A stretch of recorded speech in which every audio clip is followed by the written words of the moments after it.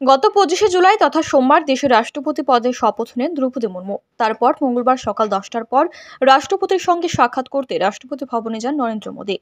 পরে রাষ্ট্রপতি Twitter account থেকে দুজনের বৈঠকের ছবি টুইট করা বলা হয়।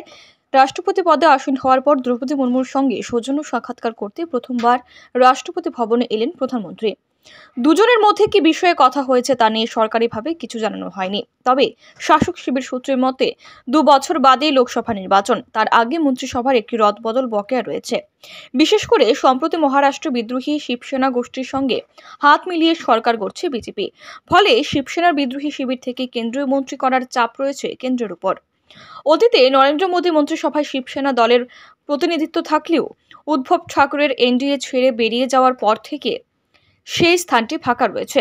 এখন বিদ্রোহী শিবসেনা গোষ্ঠী মহারাষ্ট্রে ক্ষমতা দখল করায় কেন্দ্রীয় মন্ত্রিসভায় অন্তত দুজন শিবসেনা সংসদকে কেন্দ্রীয় মন্ত্রী দাবি জানিয়েছেন একনাথ শিন্ডে গোষ্ঠী।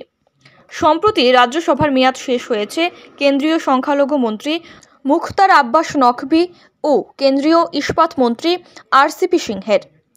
মুখতারকে বিজেপি ও আরসিপিকে জেডিট রাজ্যসভার টিকিট না দেওয়ার মেয়াদ শেষ হওয়ার আগে তারা নিজেদের পদ থেকে ইস্তফা দেন।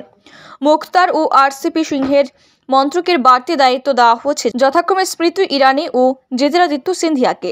ফলে এই দুই মন্ত্রকেও নতুন মুখ আসার সম্ভাবনা রয়েছে। বিজেপি সূত্রের মতে, এছাড়া বেশ কিছু মন্ত্রকের কাজে আদৌ সন্তুষ্ট নয় দল।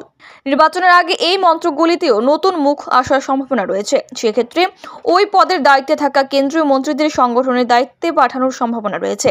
পদ হারাতে পারেন বেশ কিছু কেন্দ্রীয় প্রতিমন্ত্রীও। ব্যুরো রিপোর্ট, রাইজেস্ট নিউজ।